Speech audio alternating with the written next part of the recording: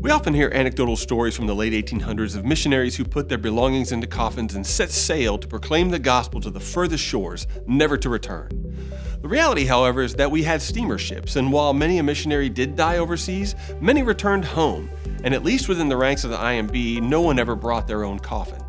So, what does the phrase packing your own coffin mean? Well, it simply means fervently sharing the Lord's desire to see a people group in a place not perish, but be reached with the gospel to such a degree that one's own life is secondary.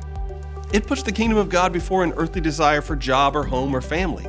It's putting one's hand to the plow and not looking back. And in this sense, almost all IMB missionaries have operated under this banner. From the earliest days of the IMB until today, IMB missionaries have been called to go and be willing to lay down their lives for the lost.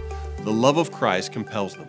Until next week, be encouraged and follow fearlessly.